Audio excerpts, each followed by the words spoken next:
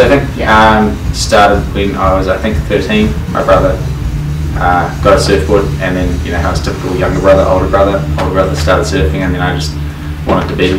No, I didn't really. Um, yeah, it was kind of we just used to hang out all the time, and um, yeah, we just naturally kind of picked it up from there, and used to go on surfing missions, just drive for hours and go and find surf. And for surfing, it's you know you could have you might just come across that perfect day, and that's what you're always chasing for. And normally that's first thing in the morning, so you sometimes we get up at like 4:30 in the morning to drive a couple of hours to get to a spot. But uh, yeah, kind of that hope, the continual chase, the surf. Um, yeah, it's something that I just you know it, only a surfer does know the feeling, and that's a that's a really like typical Billabong. Uh, but it actually is. Like, Yeah. It's really hard as a surfer to explain um, what it feels like to get a wave, you know, because every different wave is different. And every, you know, you might just get that one perfect wave in the barrel, and it's like, like that, you know. Or you could go out on a day, and it's like you could just be so angry because the surf's so bad.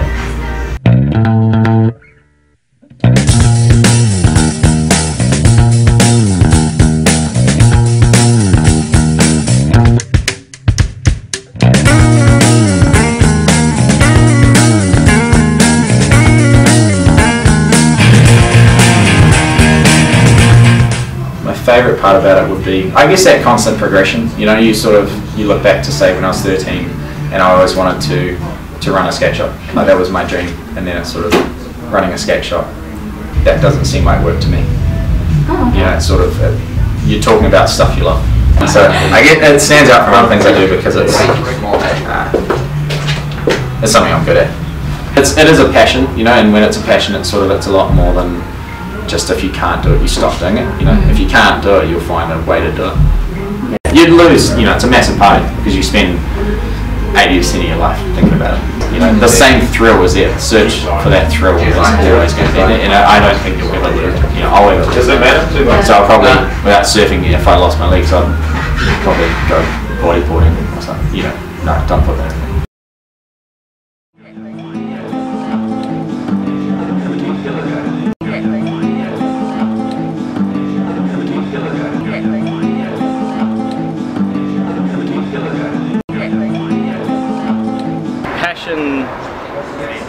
You to every day become a better you. The best you you can be is a product of passion. You every day you are better than the day the person you were yesterday, and that's what passion is good for. Uh, the way it makes me feel when I'm playing it is kind of something uh, I feel like amazing in myself. Other times it's just stress relief. Like if suddenly I was without the ability to play for my passion, then it'll feel like I've I've lost a great big deal about myself, and I would feel both good and bad. Bad because I can no longer do this great thing, but good because I now have to find something else to love. Now the passion's never going to leave. The passion will never leave. The passion is, is part of you like uh, it's a product of everything so like and it's part of you so every yeah so every day you are a better person because of your passion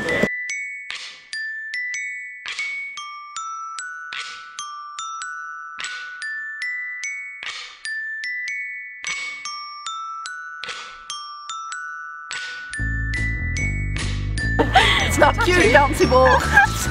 it's not cute. My arms. Got them. so we'll just repeat the question back to you and Yeah, we got this, we got this. Um, from Whangarei. Oh yeah, we Oh, were okay. from Whangarei. From Whangarei. Whangarei. We were like in classes together and stuff, and that limits your options even further. We're limited. we had no other choice. I would describe Sarah as a female M&M. Thank you. That is how I would describe I'm this one. I'm gonna ta- that's two words, but I'll take that as a compliment. Well, a feminine. You've got a hard shell, but you just got some chocolate goodness inside. That's a good metaphor. Go, hit me. I don't have a good Hit me with your best shot. I think my word to describe Haley would probably be, which might sound a bit cheesy, but friendly because Oh, I don't know. We I think we have a cool friendship. yeah. We have lots of similarities. Yeah. Oh, Sorry. Shared a moment. okay, I would describe Katie as virtuous because that covers the spectrum of almost every virtue, doesn't it? Yeah. Okay. Kate is like a bouncy ball, which is hyphenated, so that's one. And then because she's just so like happy all the time and just bouncy and Yeah. friendly and like out there, and I just she's just one ball of Yeah. you know Bounce. Yeah. Yeah. on my report cards. I was also like a champagne bottle. Oh look, they're making out. Right? They're good friends. Oh, PDA! PDA. Stop! Get it, get it, get it. Stop it!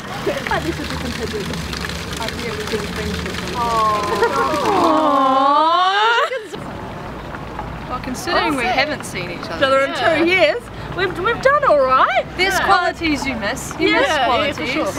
I think you need someone to like you, otherwise everything's just awful. I reckon I reckon that that's like that's good friendship because you don't have to maintain it every single day. And you can still get together like two years later and be okay. That's good friendship. Well, well put. It's all good. That makes a beautiful friendship. It's a, clearly it's a ten years strong friendship.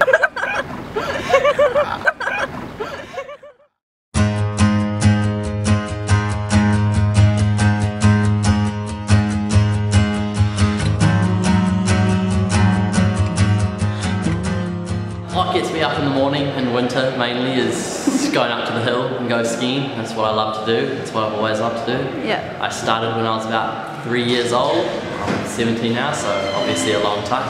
I love skiing the most because I don't know, I like going in the air, doing flips, doing spins, um, mainly just sliding rails and I don't know, it's the way I feel when I'm out there riding on the mountain. If skiing got taken away from me, I wouldn't really know probably how to handle it for, I don't know, a year or so, but I'm sure if, it, if I lost it then I'd probably pick up something else like skateboarding or go to university and get really smart. But I don't know, I'd probably feel like a part of me wasn't quite there anymore, but um, and it, it would just remind me of the dangers and stuff that we always have. I mean, it's a pretty dodgy sport, but it's when you land the tricks, that's why we love it.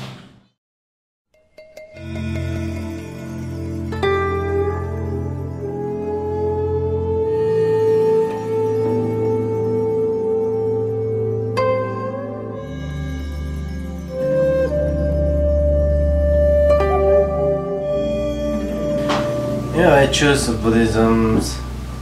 Actually, my whole family was Buddhism, and actually, Buddhism is like very, very important in our lives. Back Nepal, I did three years teaching.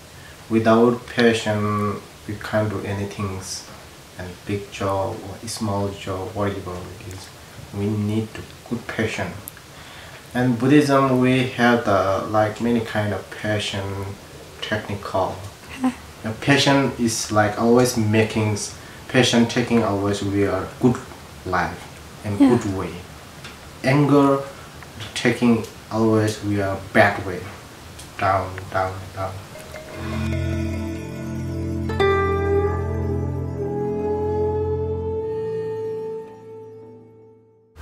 One word.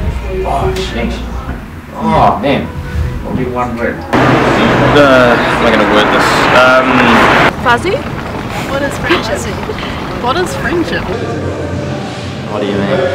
Like a tree. No. Um, growth. It helps you grow. Sense of freedom almost. Supportive, Supportive. support, probably. Right now would be the dream.